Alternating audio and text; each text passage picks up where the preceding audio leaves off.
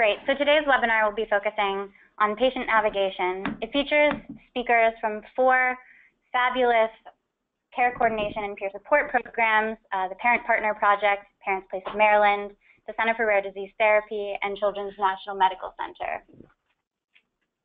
In today's webinar, we'll be focusing on the needs assessment that calls for patient navigation as a sustainable, scalable intervention, a vision for the future. Representatives from these four models of navigation programs will be speaking on behalf of their programs, and we'll hopefully open up to, to have a great discussion with all of you who are participating in this webinar today.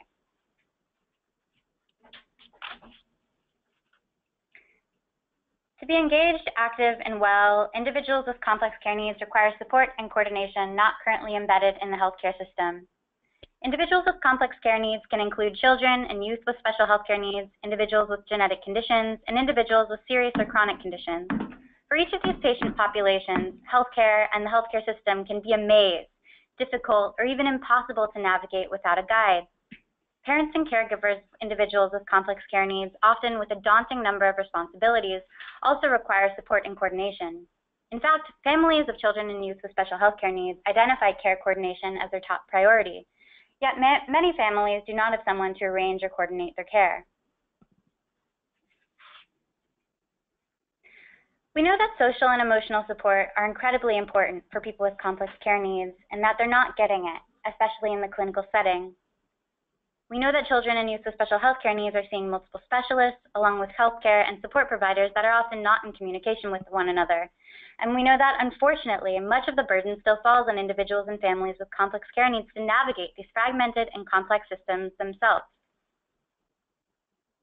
As a coaching and case management intervention, patient navigation can bridge the gaps in comprehensive care that lead to these disparities And partnership with a patient navigator, can lead individuals and families to develop a sense of mastery and empowerment over their health within this daunting healthcare system.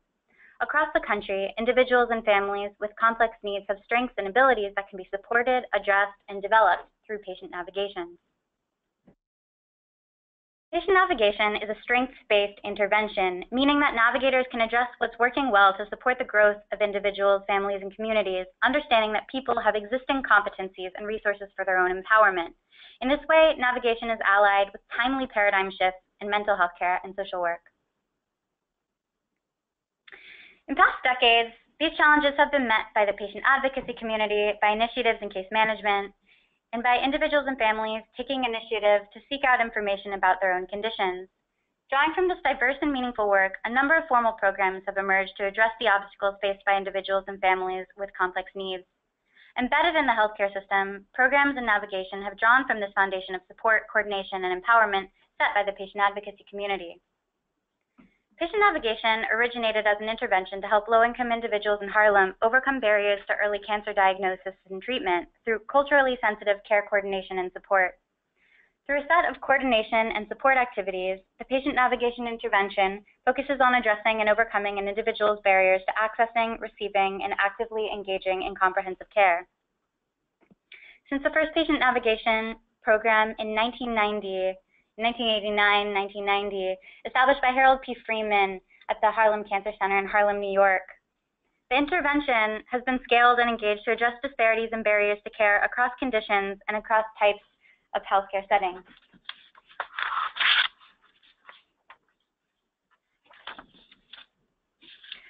To explore the basic functions of patient navigation for individuals with complex care needs, Genetic Alliance conducted a field survey of programs in coordination and peer support.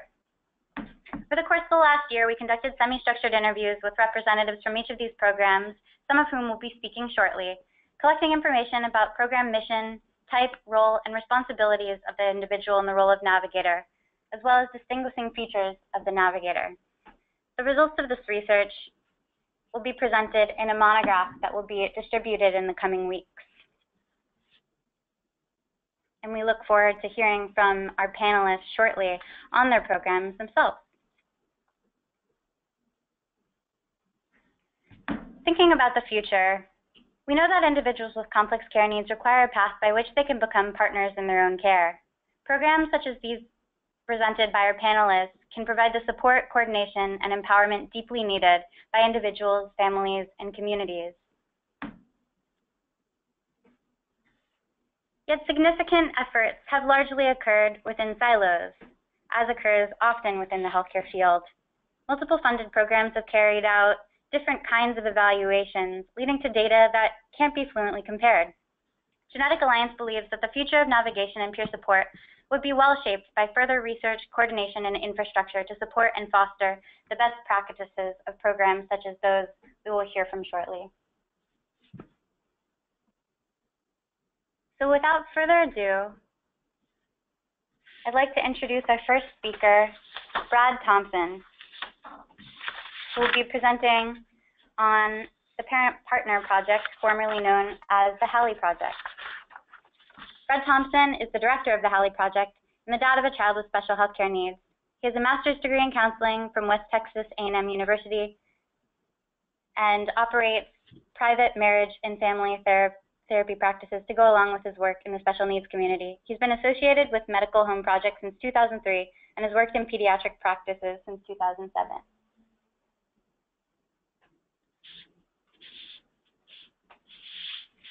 Right. Are Brad? we are we ready to go? okay. Ready to go. Okay. So if I could get you to go back one slide to just talk about uh, where it started, and, and the way the way it started was kind of a mutual frustration between uh, the Haley Project, which is our work, uh, that was trying to serve families who have kids with special needs, and the difficulty of of getting audience with them along with the frustration of Dr. Sherry Medford, who uh, is a pediatrician in Amarillo, Texas, who was regularly referring parents uh, to our work, but they were rarely following up. And if you have a child with special needs, you can kind of understand the reality of that, and that is that uh, the to-do list for our families is always longer than than our time would allow us to complete. And so if you add a stranger and his phone number to the end of an already too long list, uh, that number's not going to get called very often. And so, uh, as we talked about that in our mutual frustration, we uh, we came up with the plan for me to just show up at her practice on Fridays, and she would schedule well child visits for kids who have special or chronic health care needs uh, for those Fridays, and then she would introduce me to those families as as they you know as they came along. And and so the question we were we were really working to answer is how can we take the non-medical pieces of family centered care off of the provider's plate? Because what we know is that while physical issues are what take you to the doctor those those conversations often turn into how do I work with uh, my school system? What are the local services and supports and resources that are available, both traditional and non-traditional? And then and then those emotional challenges that, that parents experience, such as you know in the early stages of this is just not the way it's supposed to be, or or us being able to say you're not alone in this. That that there are people who've gone on this journey and maybe a little further uh, down the road than you, and and even the family issues that occur because maybe a spouse or parents or in-laws uh, just they they're just in denial that there's really a diagnosis and a health issue coming, not just uh, perhaps a discipline issue. Uh, next slide, please. Um, and so uh, over time, yeah, thank you. Over time, uh, we developed this idea and we continued to talk about it in different settings. We were blessed to be able to serve on a medical home project advisory committee for the AAP. And when we would go to these meetings, uh, we would always kind of have a roundtable discussion. And and Dr. Rich Antonelli would always say, "Well, if I had a Brad Thompson in my practice, I would do that too." And my response to him was always, "You do." Uh, you just haven't had the right lens to see those people. And what we found through work with a Boys Town uh, Child Health Improvement Project in, in Omaha, Nebraska, working with practices in their learning collaborative, was that indeed every practice could identify uh, a parent partner that they felt comfortable with uh, working and bringing on their team to uh, to support families in those non-medical pieces that uh, the providers uh, neither had a ton of experience or expertise in, nor was that time that they spent with them billable. And so, having a parent partner would allow them to offer uh, operate more efficiently, as well as providing better comprehensive care.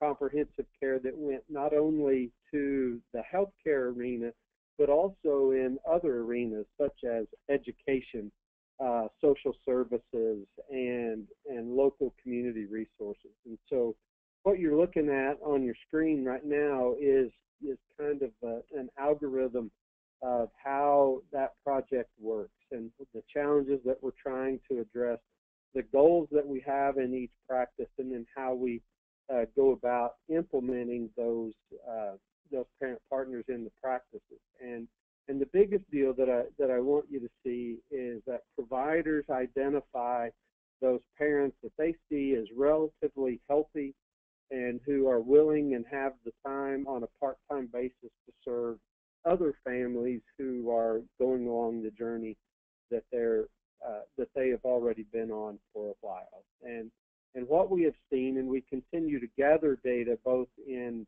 in the state of Montana and the state of Wyoming, where we have contracts uh, with the CSHCN departments in both states, is is that uh, one of the big things that we're addressing is the reduction of isolation.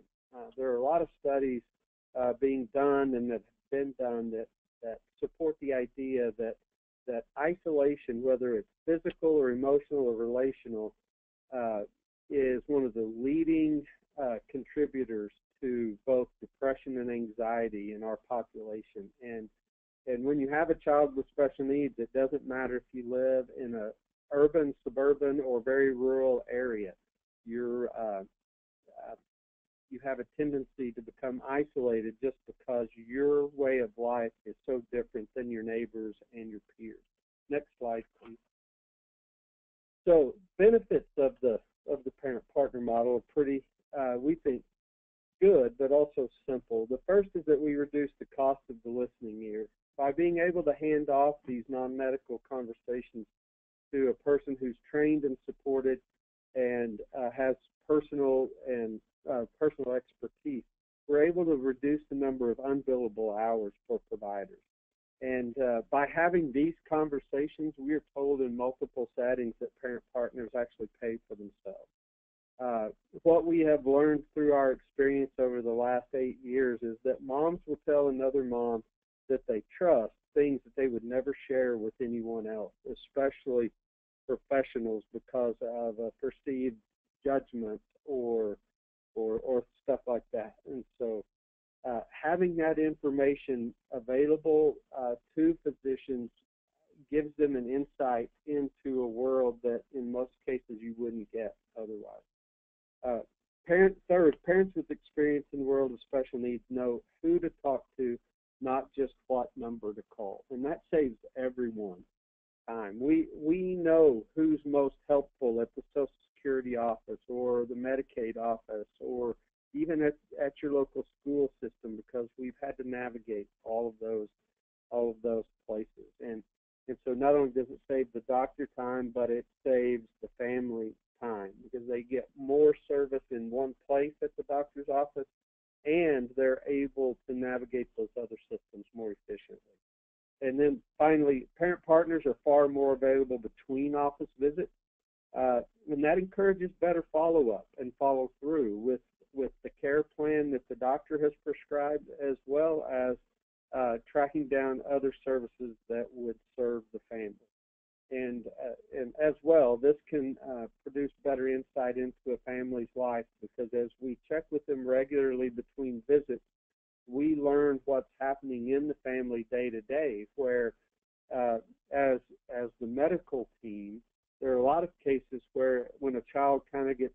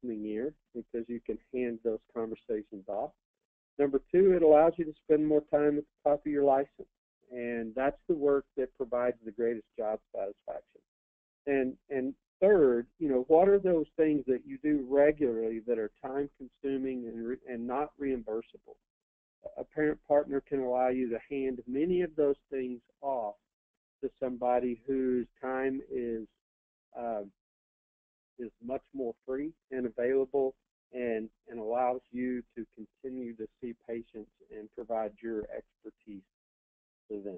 Uh, if you have any more questions or have some questions about the work that we're doing, would like to talk more, uh, all of my contact information is on that first slide, and you're more than welcome to ask questions down here in the chat box. Uh, that's all for me. I'll turn it over uh, back to Sarah and go to the next uh, next good work.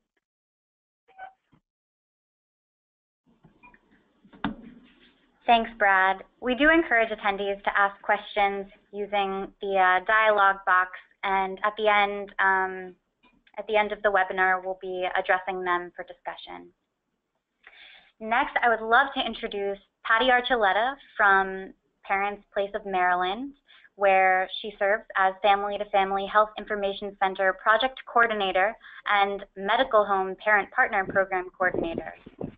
Patty is active on a variety of state and federal initiatives to improve services, family support, and parent professional partnerships related to health programs and policy for children with special healthcare needs. Patty is experienced in pediatric practice quality improvement, behavior intervention, program development, and implementation, and she is also the parent of a young man with an autism spectrum disorder and a history of epilepsy. So I'll give a warm welcome to Patty Archuleta. Thanks, Patty. Thank you, Sarah. I appreciate it. Can we have the next slide, please? Thank you.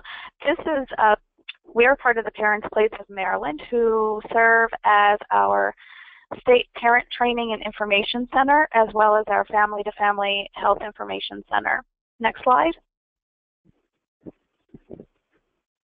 Next slide, please.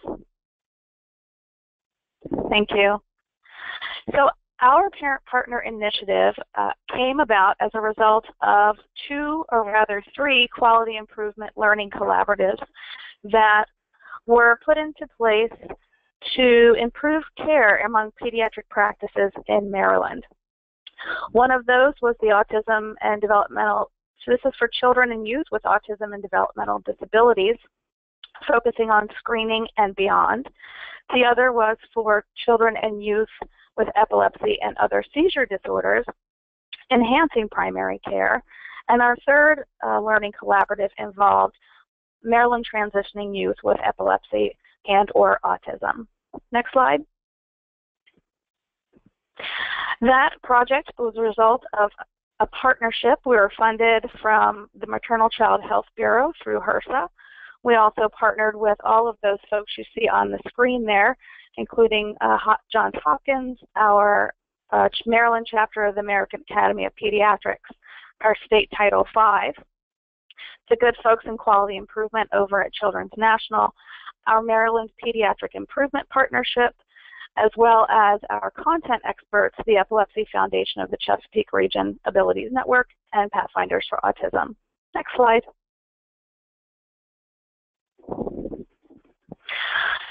So the benefits, as uh, as Brad was mentioning just a moment ago, the practices we have found enjoy the input regarding the challenges that families experience. Those um, you know those little disclosures that families have amongst themselves. They also enjoy the meaningful family engagement and having that continuous support and feedback. And they feel they benefit greatly from having all the information on the community and state resources that are available. As the family, State Family the Family Health Information Center and as our Maryland Family Voices, we feel strongly that the family voice is so important to be represented at the table for all children and youth with special health care needs, and our families benefit from this within this initiative. Um, the families that are being served benefit from the targeted case management system navigation and all of that additional support, and as a result, they feel very empowered. Um, overall, systemically, and all the parties enjoy the improved communication and partnership between the staff, and data consistently show that this results in better health outcomes for the children and the families. Next slide, please.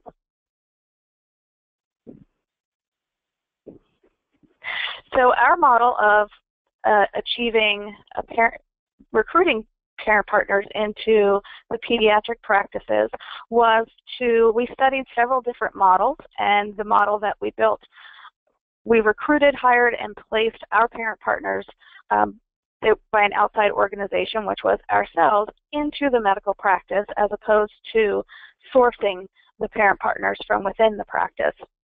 And there was uh, that was a targeted approach because of the disparate regions within our small state. We have um, some challenges geographically, and so we sourced some of our own trained leaders from those communities. Um, they are paid. We believe in paying parents for their time, and this is a short-term grant-funded project for three years. Our parent partners work often in more than one practice on three separate initiatives, and they're full partners in these quality improvement learning collaboratives. In addition to providing uh, the family support, they're also assisting with developing care plans and working on PDSA cycles. Next slide.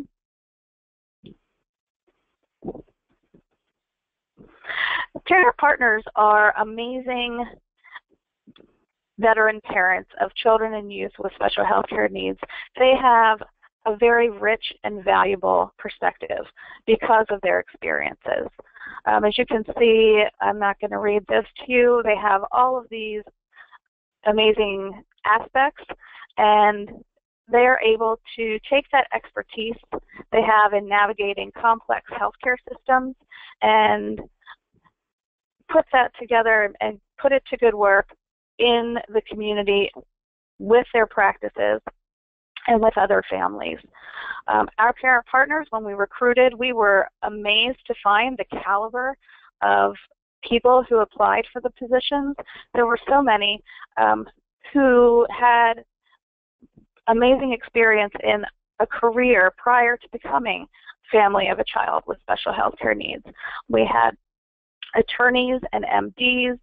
We had several registered dietitians, highly qualified um, individuals, and they have been able to repurpose their work and their knowledge into serving other families. Next slide. Don't worry, they were well trained this is some of the uh, training curriculum that we offered to the parent partners. It was very intensive. We started with a weekend intensive, two and a half days, and they also received a lot of ongoing training and men mentorship, guidance, and supervision.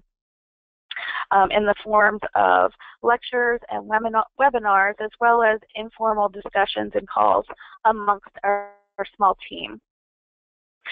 Next slide. Whoops. Next slide. Thank you. As I mentioned, as part of the Quality Improvement Learning Collaborative, uh, our particular parent partners had a different capacity outside of just family support. They were also the family voice in the part of a medical home quality improvement team. So they did work on specific um, improvement activities within the practice and had duties that included um, collecting and reporting data and administering instruments such as the Medical Home Index. Now, we found within this quality improvement initiative that sometimes the medical practices were uh, not having full buy-in at the front end of having a parent partner, a parent in their practice. They had signed on as a large part to receive um, CMEs and MOCs within a quality improvement learning collaborative. And the parent partner was a bonus, a value added for them. And so there were at times some challenges uh, with overcoming just some thoughts or fears really that, that were had by some of the practitioners. And those were able to be allayed over time as they saw the benefit of working with the parent partners. Could we go to the previous slide, please? Thanks. So when a physician wants to refer to one of our uh, parent partners, they would use the referral form citing their specific concerns and we care partners would collect and de-identify the data so that we could help um, drill down on what the family's uh, needs were and provide linkages to help them navigate a variety of services. Next slide, please. We needed to be clear on some of the roles uh, for parent partners. They provide a variety of resources and systems navigation, as you can see. One thing that we had to be quite clear about was that they were not there to provide clerical help. As Brad mentioned, there are so many non-medical um, things that sources of support that doctors wish they could provide to their families, and that was uh, what our parent partners focus on. Next. We also provided back, uh, backup and support for referrals so that practices could get the word out to their families. There were flyers that were available for posting as well as uh, letters to be sent to the various uh, cohorts of children that we were working with. Next slide. We found the top concerns that were discussed by families involved education, special education, 504s, IEPs, um, emotional support, support for behavioral health, which can be particularly challenging, and referrals and follow-ups for everything from early intervention to following up with that specialty referral, and many families had insurance concerns. Next slide. So we come to the end of our grant period for this incentive, this initiative, and we have had an amazing amount of success with our parent partners. Most of them, the majority of them, have been offered positions within their pediatric practices who will now be exploring the use of care coordination billing codes to help with covering the added cost of having a parent partner in their practice. They'll also be uh, using some of those transition care coordination codes, I believe, um, testing those with uh, the different entities to see if we can help move the needle in that regard. Um, we have, for the first time in Maryland, uh, been written into our Title V grant We've been funded for three years to have more parent partners now in our state. Uh, this initiative will focus uh, specifically on collecting care coordination data and using that framework. And we have also uh, been we've written for the new round of ASD grant funding, and we are very excited for when uh, that will be announced. Next slide. Some of our challenges did include data collection. As I mentioned, um, parent partners were sort of a little a value added piece of our quality improvement learning collaborative. We had written in certain types of data collection, but as the uh, initiative moved along, we saw places where we uh, could build in and will be now building in uh, different ways and um, portals for collecting data more effectively, um, specifically more impact data from families. Um, as I mentioned also, we have, we're a small but disparate state and some of our practices were in you know, more rural areas and I think we would have appreciated a little more face time. And at times when you are dealing with smaller practices, there were space, simple logistic issues, such as a lack of space. Some practices didn't have Wi-Fi or were not yet having um, transitioned to electronic health records. Um, I think, is that my last slide? I think that's my last slide.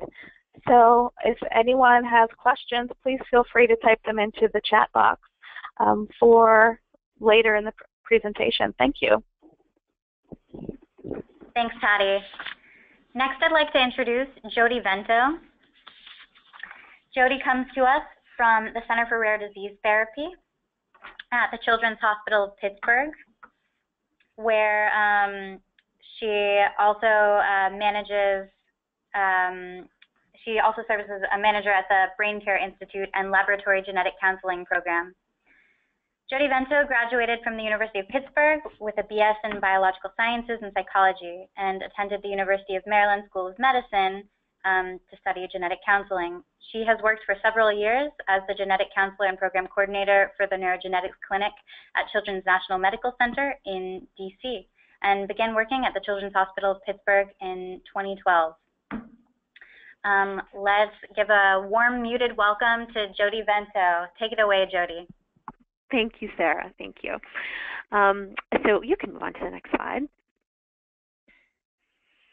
So my, my background is actually as a genetic counselor, and I'm hoping that I can offer some perspective about um, how, how a large hospital system and academic center sort of views and incorporates patient navigation.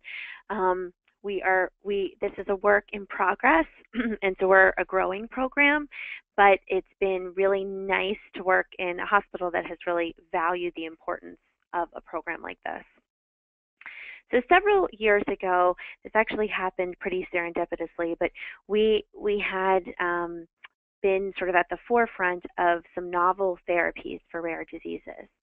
And a number of stakeholders that were involved with some of those um, those patients and from a hospital perspective got together and said, how can we do more of this? Um, you know, how can we how can we sort of bridge the gap between patients with rare diseases and providing therapies for them? And um, through a number of meetings with a lot of different stakeholders, we um, we decided to de develop the Center for Rare Disease Therapy, and um, and our focus was it was and is on research, education, therapy, and of importance for this conversation, patient coordination. Um, and this is this is a part that I felt very, very, very passionately about because we could have um, outstanding infrastructure for research and education and therapy, but if patients don't land in the right place and if patients don't feel that it's a successful program, then it's you know then it's really not to it's not going to last. So we focus on a handful of different conditions in which we have some sort of expertise at our hospital. And, and we work in conjunction with our patient navigation team, which is um, available for everybody else within the hospital. But what I'll be speaking to today is really what, what we've been working on within the Center for Rare Disease Therapy. Next slide. So this is our our, our mission statement, if you will, but but we we aim to have international experts that are focused on treating children with rare diseases, defined by leading standards of care, pioneering protocols, and individualized services. And one of the things that has been very important for us because of the multidisciplinary nature of what we do are what we call um, protocols. So protocols based on different diagnoses to ensure that patients are landing in the right place And um, you know, when when it exists, there's evidence-based practice to support what's happening, and when there is no evidence-based practice, then we're working to create that. Next slide. So these are the core components of our program. Um, education. Education we have felt to be very important, and we do this in several ways. Um, we, we hosted our first conference this past February, inviting a number of different um, healthcare professionals, physicians, genetic counselors across the region to learn more about what's happening for rare disease therapy. Um, and, and we also have, have worked to create good marketing and website interfaces for patients, families, providers, those folks that may come to us. And this is something that we are always working on um, to to improve the experience for patients and for providers that are interested in some of the the diseases that fall under our umbrella to ensure that they have up to date good information. Research is also very important to what we do. Um, and um, as I said, you know, when we don't have protocols for particular diseases, then we're working to create those. And we're also raising money to fund innovative therapies. When I think about patient navigation and patients with special needs or rare diseases, collaboration is just so essential. Um, and so we have a large multidisciplinary group that meets very frequently to discuss how we're doing, what we're doing, ways to improve. And we also have a number of external partnerships that have been very instrumental to moving our mission forward. And then, of course, and last and certainly not least, is, is clinical care. And so we've the patient navigators that we use are myself, and we are in the process of hiring another, um, are, are genetic counselors. And the reason that we chose genetic counselors in this role is because of the nature of the um, the diagnoses that are coming through, and we really wanted to have somebody who knew the conditions that parents were calling and asking questions about. Um, and we help with everything from, you know, landing in the right place to appointments to um, accommodations and travel and everything else. And and we've also raised some funding to help improve access for families that may need to travel and may not have the means to do so. Next slide. So the navigator responsibilities, um, we answer calls or emails quickly. Our goal is always within 24 hours. Um, and we feel that this is really important. Sometimes the calls are very urgent, but we also want families to be able to connect with somebody quickly, which doesn't always happen um, in other settings. And Again, if we have a protocol or a pathway in place for a particular patient, then when we talk to a family, then we know, you know, which specialist the patient might need to see, at what frequency, um, if they need any laboratory tests or other evaluations, we can help get the ball rolling on those things. And, um, and in cases where they don't exist, we're working to create them. We also take time to connect with the family and ensure that needs are addressed. And this is something that is really, really important to me um, from my work and just working with families over the years. But being able to take the time to really connect with families and and be a good resource for them, and um, and it's it's been great that um, our hospital has been supportive of allowing us to do that. We also gather records and we prepare a summary for the team, which is really helpful because when a patient enters a new medical system and they have complex health needs, they may have, you know, a box full of records. And going through that and pulling together a meaningful summary for the providers, um, we have found to be a really, really useful and helpful task in identifying anything that we're missing, um, but also in getting everybody on the same page.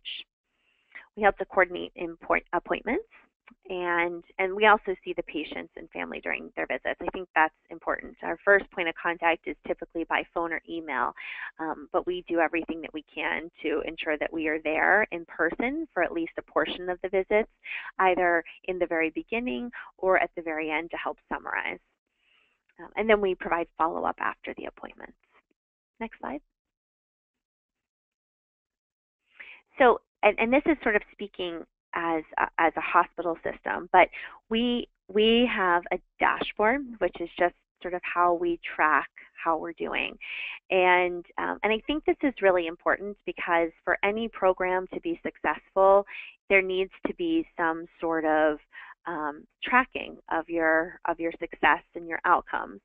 And so, you know, success is measured differently by all the different stakeholders. So, for example, our chief financial officer looks at things a little bit differently than perhaps some of our parents do. And all of those items are really important for us. So we keep track of our referral numbers and our sources, the financials, we track our marketing interventions over time.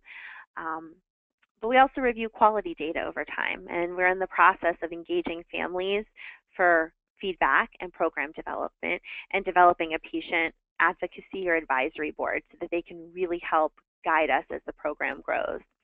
And then, of course, patient outcome data is really important to see. Next slide.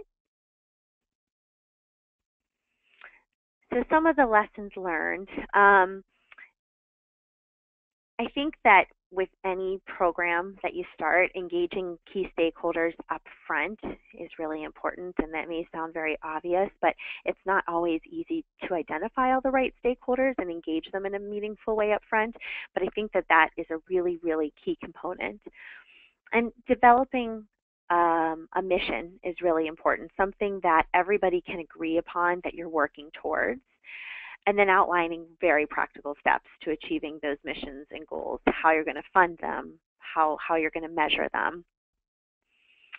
And then ensuring that your program is considered an important priority about by your organization, no matter what organization you're in. And so for us, having a program that focuses on children with rare diseases is it is considered a priority of our hospital. Um, but you know, we've had to sort of work to get it there because we're competing with very big programs like our Heart Institute or the Cancer Institute, where there's a huge volume of patients, and this is a very small number of patients. Um, I shouldn't say very small, but it's a smaller number of patients, and so and so um, you know, getting this to the top of the priority list or close to the top of the priority list for your organization, I think is really, really important. And then eliciting ongoing feedback is always really important. Being receptive to change, again, that probably sounds obvious, but we've changed, we've changed our focus a lot over the past few years where we've been working um, on the Center for Rare Disease Therapy and and incorporating more care coordination and patient navigation has been one of our big changes and in, in, in my perspective one of our most positive changes. And and sometimes you have to be creative. And so, you know, working in a big organization, there are a lot of resources, and sometimes just finding what those resources are and tapping them and um, eliciting help from people in different areas has proven to be really beneficial for us. So, so that's sort of the Center for Rare Disease Therapy in a nutshell, and I'm happy to answer any questions at the end of the presentations today. Thanks, Jody. And last but not least, I'd like to introduce Michelle Jiggetts, who has over 20 years of experience providing healthcare advocacy for children and youth with special healthcare needs. Michelle currently serves as program administrator for the Complex Care Program and the Parent Navigator Program at Children's National in DC. Dr. Jiggetts has been with Children's National since 2006 and has managed the Parent Navigator program since 2010. Additionally, she serves as the research coordinator for the Giving Parents Support, or GPS, project, a study that aims to examine the impact of parent navigation on parental mental health and infant outcomes after discharge from the neonatal intensive care unit. Thanks, Michelle, and welcome to the webinar. You are unmuted and ready to go.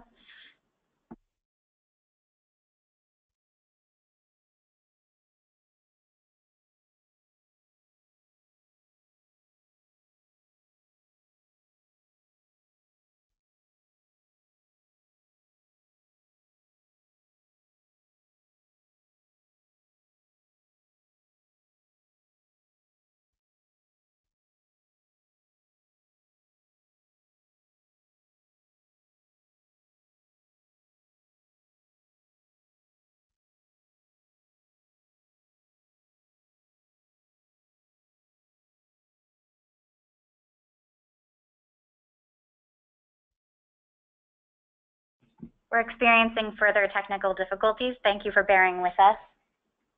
In the meantime, we'll address um, we'll address one or two of the questions that y'all have sent us um, for our previous presenters. One question sent early on regards compensation and the Parent Partner Project, or Haley project. And this question is for Brad Thompson, of course. Uh, the question is, how are your parent partners compensated?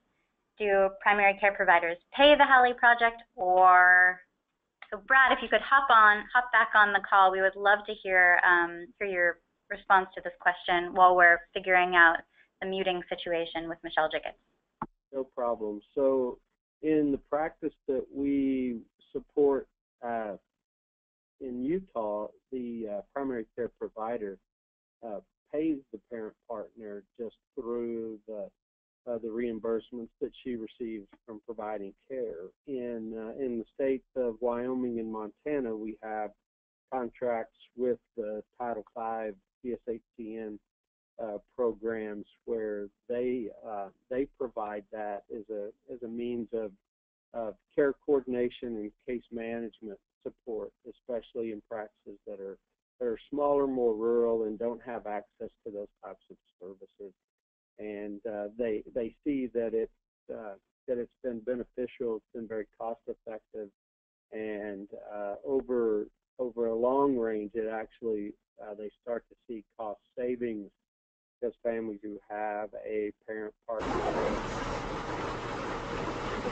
admitted to hospitals or show up in emergency rooms for acute care. So um, uh, those are those are ways that, that it can be paid for.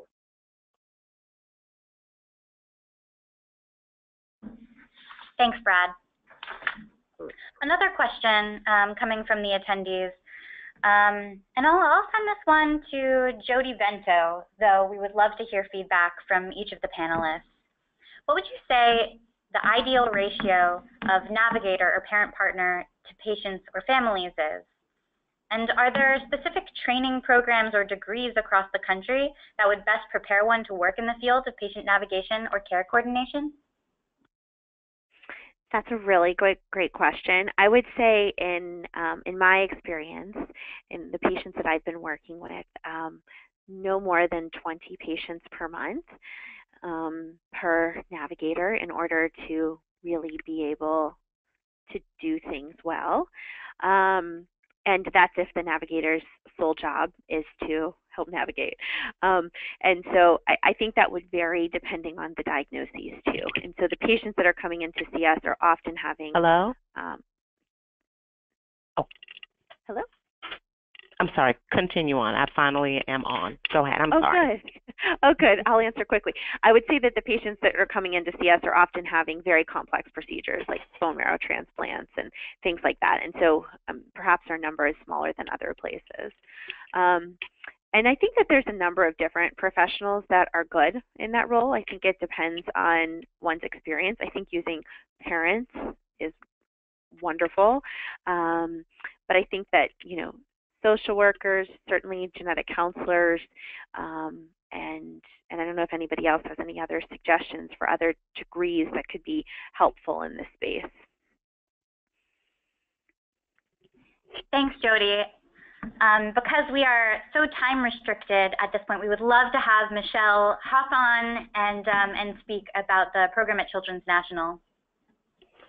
Sure. Thank you, Sarah. I apologize. I don't know what actually happened. I was hearing everything, and then when I tried to do my presentation, I could not um, hear. But I would like to take the opportunity to say thank you to Genetic Alliance for allowing us to be able to share our program. You can change the slide. So our parent navigators, they're bridging gaps between patients and families in our healthcare system. Next. The Parent Navigator program was founded in 2008 by Dr. Kara Bitto, who is the medical director of our Children's Health Center, one of our largest primary care sites located here at the hospital. Um, she was looking to identify a better system to provide support to our pediatricians so that they could provide more comprehensive services to our families of children with special needs. And she realized that our providers were not fully aware of the community resources, nor did they have the adequate time or experience to identify these resources. And so she submitted some proposals to the District of Columbia, where we received our initial startup support from uh, DC Department of Health through the Office of Community Health Administration. And we later received support from Maryland's Department of Health and Mental Hygiene, the Office of Genetics and People with Special Health Care Needs, so that we could better serve our residents in Maryland. We continue to receive this grant funding um, from both of these entities to support our program, which has been um, a challenge um, in terms of maintaining our program. The uniqueness of our program is that our navigators are parents of children with special needs, and they have a wealth of knowledge and information that they are willing to share with other families. And so they provide this peer to peer support in our hospital setting, and they also help our families identify community resources so that all our other families who come into our system have a place to go to to receive these community supports. And these are residents that are residing in the District um, of Columbia, Maryland, and Virginia. The services that we provide, they are customized. They are based on the individual needs of our families, and these may be identified by the pediatrician, they may be identified by the family, or even by the navigator, because the navigator routinely does needs assessments on our families to identify what type of services that they need. Next slide. Our objective is to provide non medical assistance and support to families of children with chronic medical conditions and special health care needs. We seek to inform, educate, support, and advocate for families of children with special health care needs. And we empower families to be strong partners with their providers, ultimately becoming a legacy family. And this simply means that families have obtained the necessary tools and resources to share and pass on to their other families. So currently, we are beginning to do a pilot where we're going to be assessing a family journey assessment, um, identifying where parents are when they first come into the program to where they are and evaluating them three months, six months out so that we know that we are helping them move through these milestones to become legacy families. Next slide. This is our team. Um, initially, we started out with two part-time navigators who were instrumental in laying the foundation for the program. And due to our increased demand, the program has now grown to six full-time navigators, two of whom of them are bilingual. All of our parent navigators are employees, they're hospital employees, fully benefited, and they are an integral part of our healthcare team in our primary care department as well in our complex care department. They serve in six of our NCQA level three certified medical homes that are um, located throughout the District of Columbia. And I just want to add that in FY15, our navigators, there's they do such a superb job that they provided comprehensive navigation services to close to 500 families, and they resolved almost nearly a thousand issues. And these issues can range from anything from housing to needing um, utility assistance to food assistance, child care, um, housing, um, so they have really, they work really, really hard in making sure our families are receiving these services. Next slide. Navigators' roles and responsibilities are based on the requests that are um, primarily made by the pediatrician and, of course, a family needs. Our navigators, as I mentioned earlier, they provide that peer support. However, but they do provide a listening ear. You know, they allow our families to um, express their levels of frustration. They um, receive information that they would not routinely provide to the pediatrician pediatrician. And so our navigators have the, the wherewithal to give them some direction on how to resolve some of those issues and concerns. They coach families on advocacy, how to make appointments or how to arrange for transportation. They help them to communicate more effectively with their healthcare providers. They link them to community resource, resources, as I've already mentioned. And they assist them with educational needs, helping them making sure that they know what to say in IEP meetings or IFSP uh, meetings and making sure that the services are on those um, plans when they're being developed. They follow them to ensure that needs have been addressed. And in doing this, they disseminate tools that we have developed, um, which is our Care Notebook.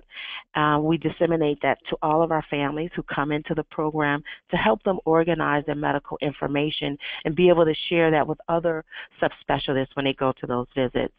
And more recently, we've increased our focus on preparing families for transition from adolescent care to adult care, helping them to identify the adult providers, discussing topics of guardianship because this is a major issue for them as well as a costly issue, and scheduling um, their initial adult primary care providers. Next slide.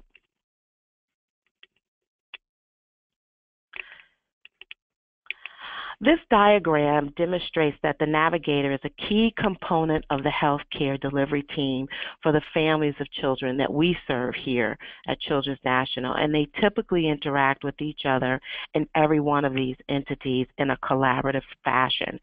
The physician may make a referral and ask them to, to work with the case manager, the insurance case manager, or they may help them identify um, therapists in the community for them to go to. So they do work collaboratively with everyone on on on the um, healthcare delivery team. Next slide.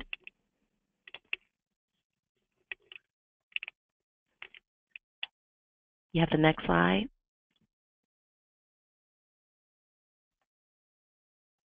Hello? Hello? Okay. Can you hear me? Yes, one moment. Okay.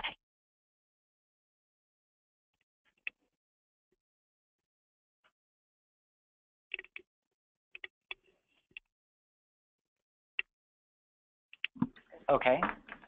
Okay.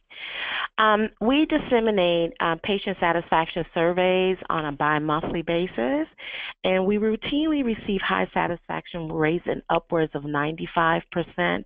A lot of our families feel that um, the service that we provide is extremely helpful and that they, in fact, would recommend it to other families that they come encounter with.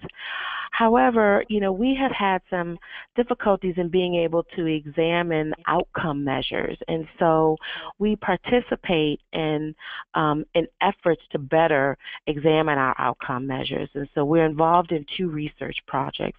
One is a reach a reach project, which involves second and third year residents who have been evaluating our utilization and effectiveness of our Parent Navigator program.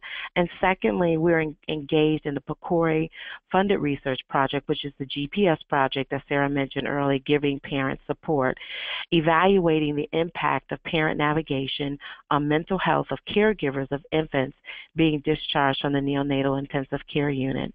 And the principal investigators on this project are Dr. Karen Fratantoni, who's the medical director of our complex care program, as well as Dr. Lisa Tuchman, one of our directors in our adolescent department here at Children's National. Next slide some lessons learned and barriers that we have encountered over the last few years is one is being able to continually identify funding on a yearly basis. Two is being able to build an infrastructure. You know, we have challenges in streamlining our data capturing systems. We currently document in two different databases. One is our electronic medical record system, so that is so that our navigators can communicate more effectively with our pediatricians and keep them abreast of what's going on and the information that they um, receive from the families. They document that into that database.